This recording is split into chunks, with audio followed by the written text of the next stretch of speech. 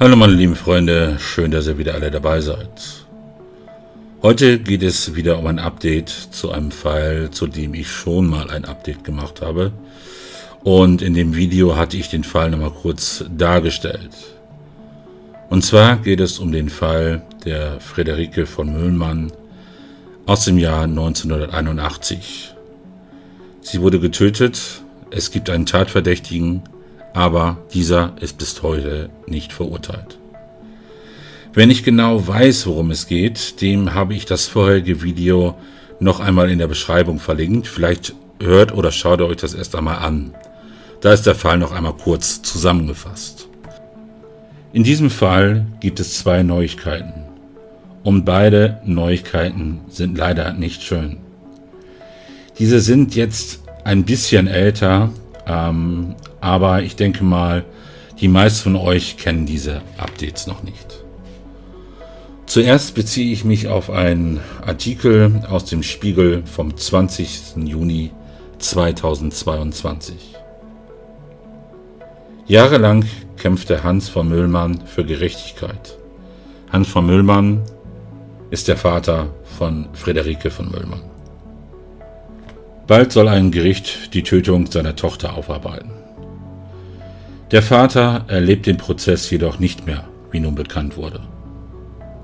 Hans von Müllmann ist gestorben, wie unter anderem die Hannoversche Allgemeine Zeitung berichtet. Demzufolge erlag er im Alter von 79 Jahren einer Diabeteserkrankung. Dies ist natürlich sehr bitter, sagte Müllmanns Anwalt Wolfram Schädler. Er kann den Kampf nicht zu Ende führen.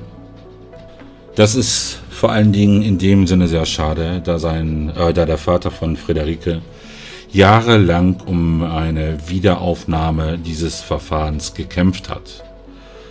Und es war jetzt endlich soweit. Es sollte eine neue Verhandlung stattfinden.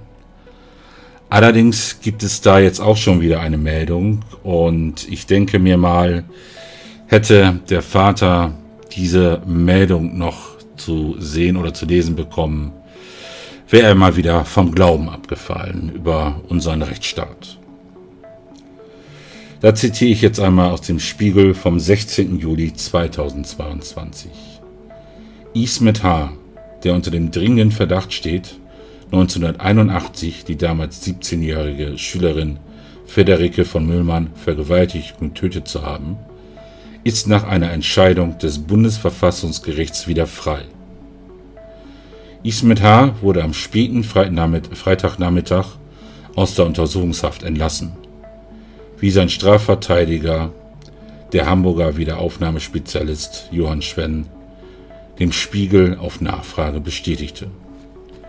Dies geht zurück auf einen am Samstag veröffentlichten Eilbeschluss des Zweiten Senats des Bundesverfassungsgerichts vom 14. Juli.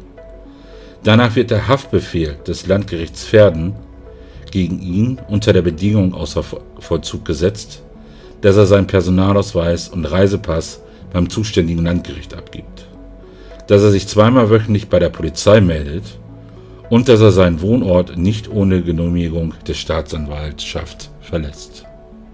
Ismet H. war am 22. Februar diesen Jahres erneut in Untersuchungshaft gekommen obwohl er im Fall von Friederike von Müllmann bereits vor fast 40 Jahren rechtskräftig freigesprochen worden war.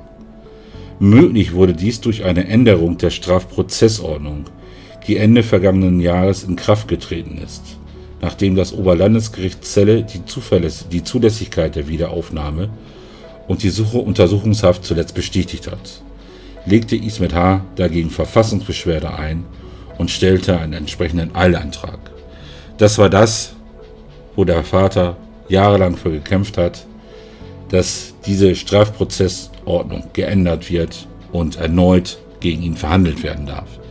Denn bisher war es so, wenn jemand rechtskräftig in einer Tat freigesprochen wurde, konnte er diesbezüglich nicht ein zweites Mal vor Gericht gezogen werden, selbst wenn feststand, dass er der Täter war. Die Verfassungsrichter kamen zu ihrem Ergebnis im Wege einer sogenannten Folgenabwägung. die in einem Eilverfahren typischerweise anzustellen ist. Dabei werden die Folgen, die es hätte, wenn die Verfassungsbeschwerde anders ausginge als das Eilverfahren, gegeneinander abgewogen. Wenn der, wenn der Verdächtige in U-Haft bliebe, seine später zu entscheidende Verfassungsbeschwerde aber Erfolg hätte, drohten ihm erhebliche und irreversible Nachteile, denn er würde voraussichtlich bis zu dessen rechtskräftigem Abschluss des Wiederaufnahmeverfahrens in Untersuchungshaft bleiben, wenn nicht vorher über die Verfassungsbeschwerde entschieden würde. Die Untersuchungshaft stelle einen besonderen, in, besonders intensiven Grundrechtseingriff dar und sei zudem nachträglich nicht mehr korrigierbar. Sofern dagegen der Haftbefehl aufgehoben wurde, sich aber die Verfassungsbeschwerde später als unbegründet erweise, bestünde die Gefahr, dass sich Ismet H. dem Strafverfahren entzieht.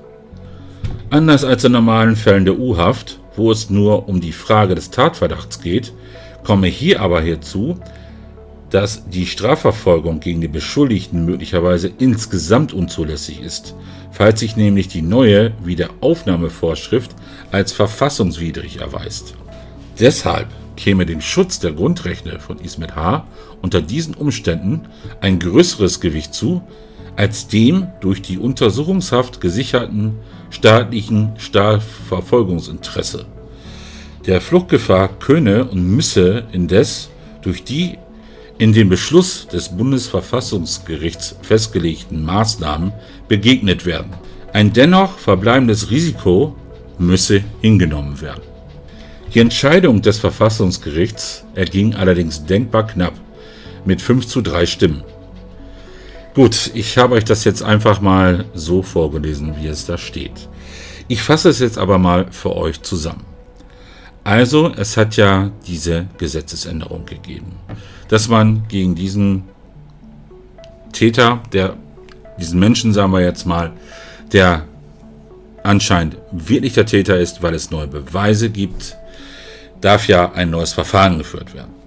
So, und aufgrund dessen, dass er dementsprechend dann nicht abhaut, wurde er in Untersuchungshaft genommen. So, dagegen hat er Beschwerde eingelegt. Und die Begründung des Gerichts ist jetzt wie folgt.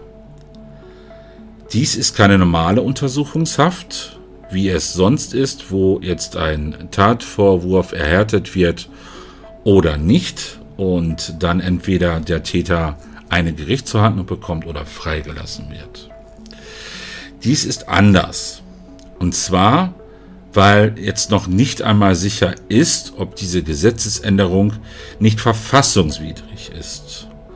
Aus diesem Grund kann man ihn nicht in Untersuchungshaft behalten weil dies würde massive oder könnte massive Schäden in seinem Leben hervorrufen. Man sagt zwar, es könne ja durchaus sein, dass äh, Ismet H. jetzt sich der Strafverfolgung entziehen will. Dies habe man aber ja versucht oder versucht man zu unterbinden, indem er dementsprechend seinen Reisepass und äh, seinen Personalausweis abgeben muss. Gut, stellt sich natürlich die Frage, welche Staatsbürgerschaft hat er? Ist, hat er doppelte Staatsbürgerschaft? Aber auf das Thema will ich da jetzt nicht tiefer eingehen. Ähm, gut. Und man, schlussendlich sagt man, man begründet es damit. Man kann eher wohl damit leben, dass er sich dieser Strafverfolgung entzieht, als dass er jetzt unter welchen Umständen auch immer er sich zu Unrecht in U-Haft befindet. Denn dies könne ja bei ihm Schäden hervorrufen.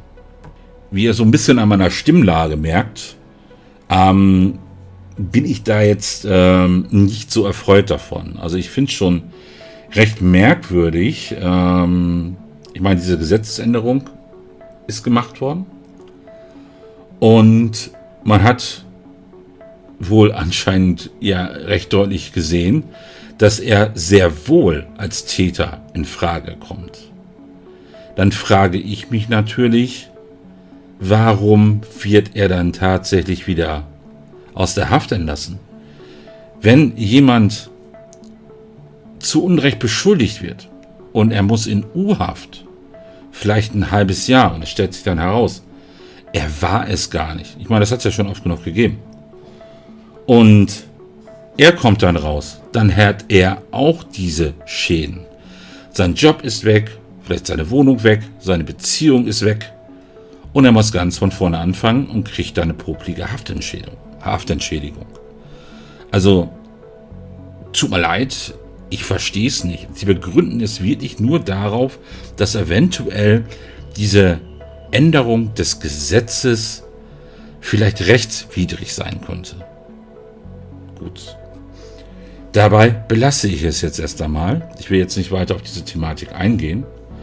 Ihr könnt hier mal in die Kommentare schreiben, was ihr davon haltet. Da bin ich mal gespannt. Aber ähm, bitte keine aggressiven Kommentare, nur sachliche Kommentare. Wenn ihr aggressive Kommentare mit Beleidigungen wie auch immer schreibt, es ist so, dass dann auf jeden Fall YouTube eingreift. Das heißt, es gibt immer so eine Sperre.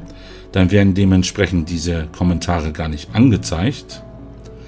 Oder wenn es zu massiv wird, muss ich aus Eigenschutz und auch zum Schutz des Kanals dann solche Kommentare leider auch löschen. Gut, dann mache ich jetzt einmal Schluss mit dem Video. Bedanke mich fürs Zuhören oder fürs Zuschauen, je nachdem wie ihr meinen Content konsumiert. Passt auf euch auf und bis zum nächsten Video. Tschüss.